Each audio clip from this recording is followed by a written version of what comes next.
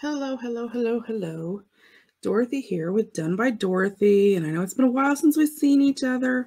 Um, you know, I want to thank everybody for their patience. This year has been, it's just been a year. Um, we have dealt with a lot within our family, immediate and extended family. Um, you know, with everything going on in the world, we've had a lot of death and illness and hospitalizations and all of that. So it has been an extremely long year, um, as well as dealing with being diagnosed with a chronic illness and dealing with all the craziness of that. So it has just been a long year. so thank you for your patience. Um, we were working with our purple paper purple paper passion kit and we're going to continue with that. Um, I will be updating things you know, in the next several weeks. So stay tuned. Again, there's my local train. Always, always right on time. Um, so yeah, stay tuned uh, for you know further information. Things of some things that were planned have got moved around scheduling wise. Um, there just wasn't an alternative. Um, you know, so that's the way that it is. Um, so we're going to go ahead and continue working with this. Um, if you're in my Facebook group, please stay posted in my Facebook group because there'll be announcements and things going on in there, um, as well as updates and all of that. So we're going to continue and we're going to put some of our pockets in. If I can get my glue working here. It doesn't want to work. There it went.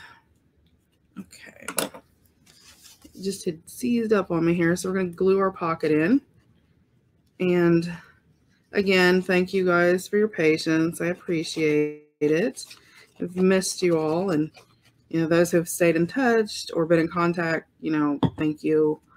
Appreciate it very much. Um, mom is doing well. Um, you know, as well as can be expected. And so the family's all doing well.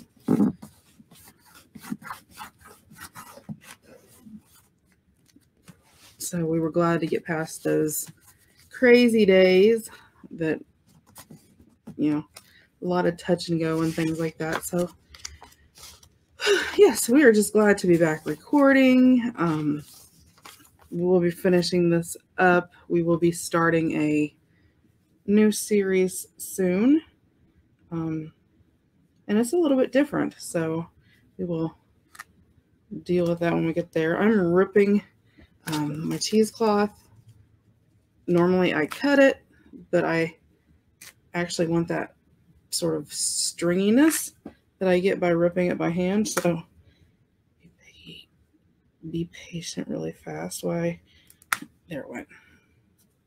And I need a couple pieces because I have two of these little pockets and sort of want to do them both the same.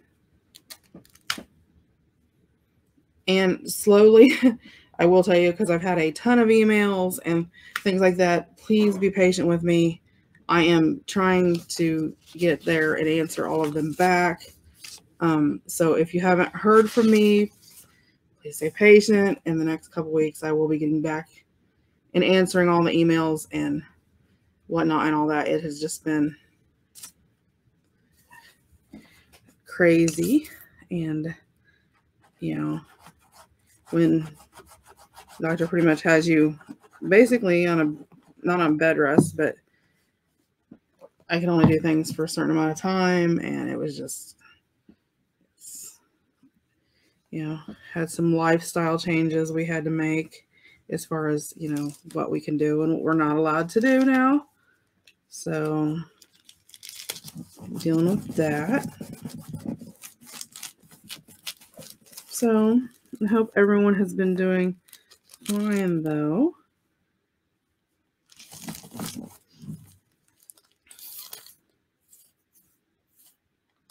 But yeah, so we're okay now and hoping that we'll get everything back to going here because The doctor had a slower roll for a while. Hope you guys have been staying busy and crafty. Okay, and then I had some of these really little pretty purple flowers, and I thought we'd put a couple a couple of those along the side and maybe there's about three different color flowers I think. There's sort of a washed out purple a light purple and then a bright purple. So if I can get this out of there let me go ahead and pull another set out too. So you can just do the other little one the same way because love these little flowers. Let's see. There's a little bright one and there's a bright one and I need a there we go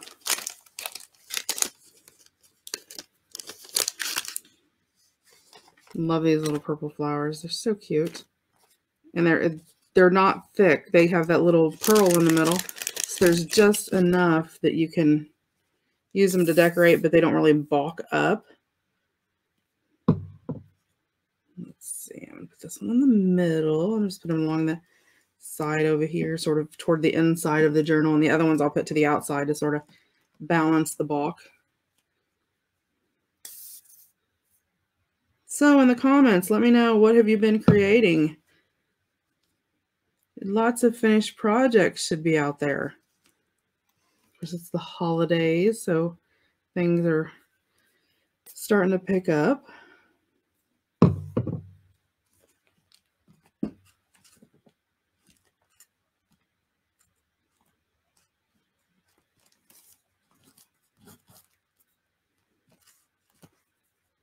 So yeah, that's just, there's not a lot there, but it's just enough that it adds a little, a little something. And the other ones I think we'll do down the middle on the other page. Let's see, that's our little envelope.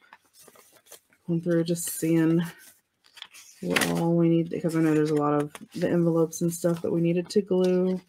There's another one back here somewhere. Yep, there it is. There's my little piece of cheesecloth. My little piece of cheesecloth. I love cheesecloth. It just adds so much to a page, actually.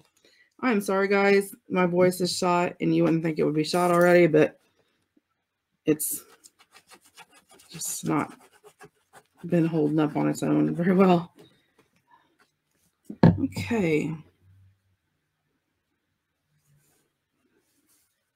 I'm going to let that hang off the edge because I think it just adds a little something to the side. Let's add some glue to our bag here. And I'm using Fabri-Tac. You guys know me and my Fabri-Tac. Love my Fabri-Tac. And I could have left this open on the back, um, but with these little snack baggy deli wrapper type style bags, the little glassini style bags, um, I like putting enough support behind them because they are very sort of fragile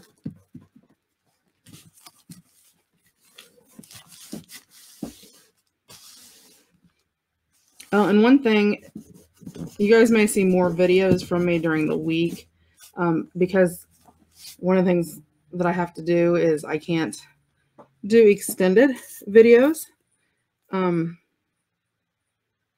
as far as like time-wise extended videos. Um, for a while, I'm supposed to build up my, I guess my video stamina. I don't know what other word to use um, until I get things going. So bear with me there. Um, I won't be doing any live auctions or anything like that because, you know, you guys know those are extensively long. So we'll be doing some destash, but it will be probably within folders on my Facebook group. So if you're in my Facebook group, say, you know, check in there and you'll probably see that because I do have a ton of stuff I need to destash. And uh, I wasn't allowed to record, I could do things within my room as far as I didn't do any creating because I couldn't sit down for extended periods of time, but I could, you know, stand up and clean and sort. And so I have a ton of stuff that has got to go. So then we're still in the process of trying to get moved and all of that. It just, You know how that is. Crazy times. And I have this and I have these little really, really cute lavender sprigs, I guess is the word. And I thought I'd put one of those on there. It's really cute. But I wanted to find something that I could use sort of to glue over top of it to give it more support. So I think I'm going to use maybe this little cream one here. Oh, this is pretty cute, and it would look cute coming out of there. The butterflies. Let's go with the butterflies. And I'm actually ripping this because I want that torn edge look to it.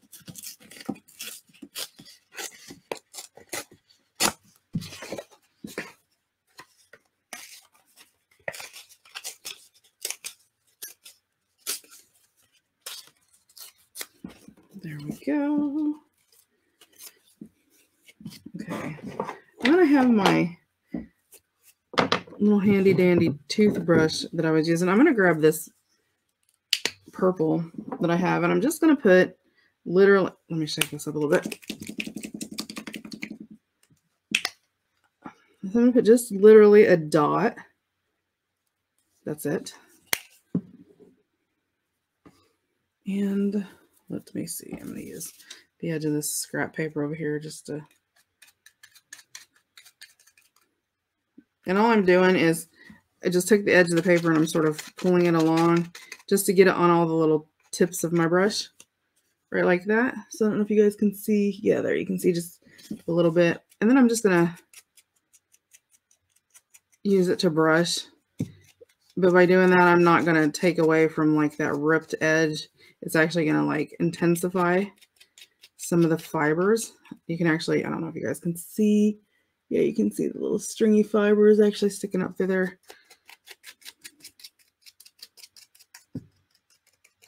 Okay, so I'm to set this over here and let it dry. And I'm just to set my brush over here because I might use it in a minute. So this sprig is to go up here. I'll probably put it about right here. And then I'll glue the paper over it. But I want to sort of smash this on the back, but not the front. So let's, let me use my bottle here.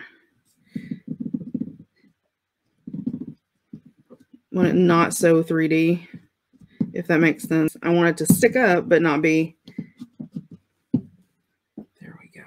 And that'll sort of flatten the back, make it flatter so it will stick better.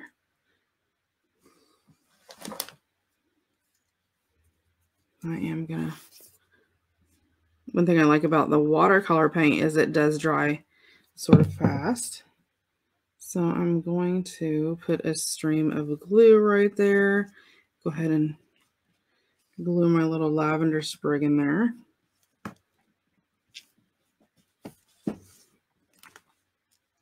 That way. Then let me grab a little of my cheesecloth, just a teeny tiny corner. Let find over here where I ripped earlier. There we go. And let's see, let's put some glue down here at the bottom here for the bottom. I'll go ahead and put some glue for catching my cheesecloth too, because that'll help tie that in there.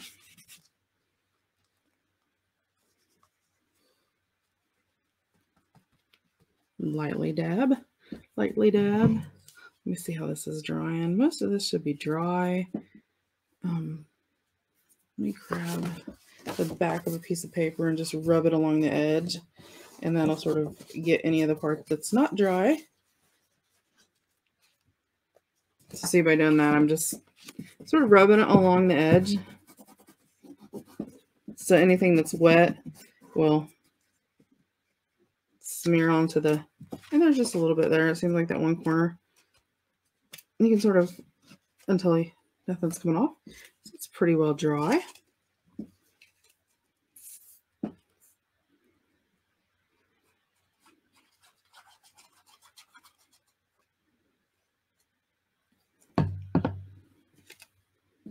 Okay. And I'm just going to put this here. A little bit of cheesecloth stuck out the side. And I have this. And I so it'll sort of stick up there. I'm actually going to, because this paint, I can roll some of this glue off. Now that I've held it in place, which will sort of let my little sprig fold it sort of towards the side. There we go. And so that'll sort of stick off like that. There's more pieces of paper in there. See what else we have here. Here we have this. I did want to put something sort of behind this um, because it's so bright. I'm going to go ahead and use this piece. Oh no, that's a white piece. Let me see what we find over here. Something sort of in a brighter purple like that, where it sort of stands out. Uh, let me see if I have something a little lighter. Um, oh no, we have this. I don't really want to put a deck. That would work. So that's sort of purple, a background. So again, I'm going to rip the edges, and I'm just going to go around, rip a tad bit around the side.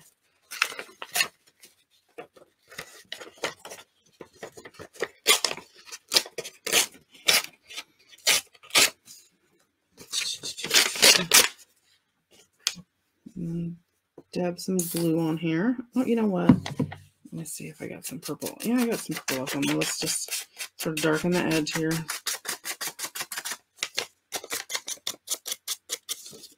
See, if you take this and scratch it on paper, you get a lot of that purple off, then you can really use it to sort of just age up.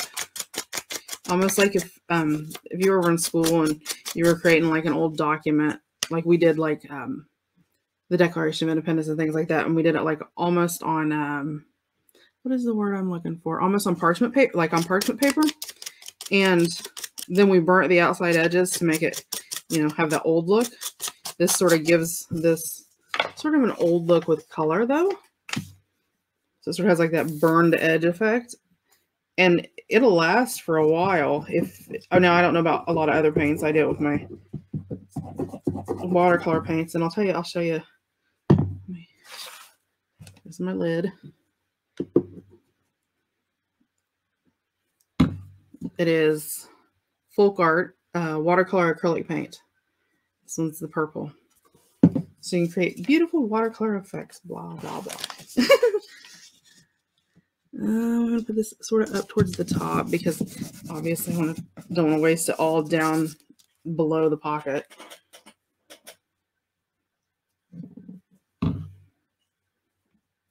My lid's sticking to my fingers. So we'll get the pockets and all this done in today. Um, tomorrow we will go with the binding, the sewing binding part, and then we'll start um, then we'll start constructing the front, and then we'll go back through and add all of our whatnots without, you know, throughout. And I see, I just wanted this edge through there. This is going to go out to the very edge, down to the very corner.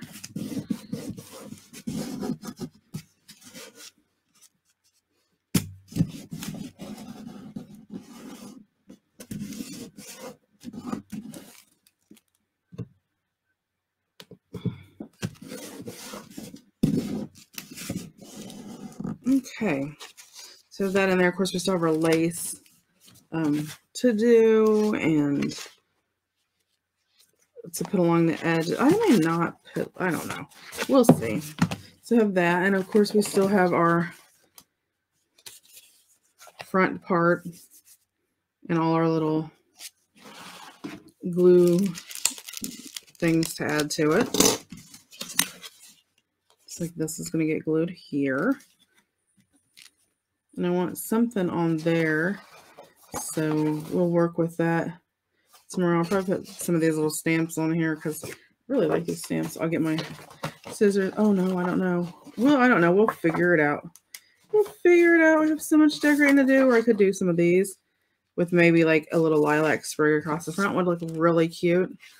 So lots and lots and lots to go on. And I have these little two, these little lilac-y and darker, almost bluish purple flowers too. So those would look really cute on there. Okay, we will be back and we will finish this up. Like I said, probably this week. Um, we will be finished, but we got all our pockets in now, so I'm going to let them dry. And we will be back with, let's see, we did one, two, see like this, the way it's painted up, I don't want to add anything to it. Um, I may just glue a, a piece of lace along the edge because I don't want to add a lot to it. And we have our pockets all done in there um, and glued in there. Of course, I've got our little belly band decorated. And see, these are decorated so much themselves. So it really doesn't need a lot. Okay, so, and I love this has really got the paint on the file folder finished out is very, it's almost leathery feeling. So it makes it really nice. So, okay, we will see you again tomorrow when we go ahead and we bind and start working on all the elements to get it finished up. Thanks for tuning in. I hope you guys have a great day. Again, thanks for your patience with us um, here as we've been going through all the chaos of late. Um, have a great day, and we'll see you again next time. Bye now.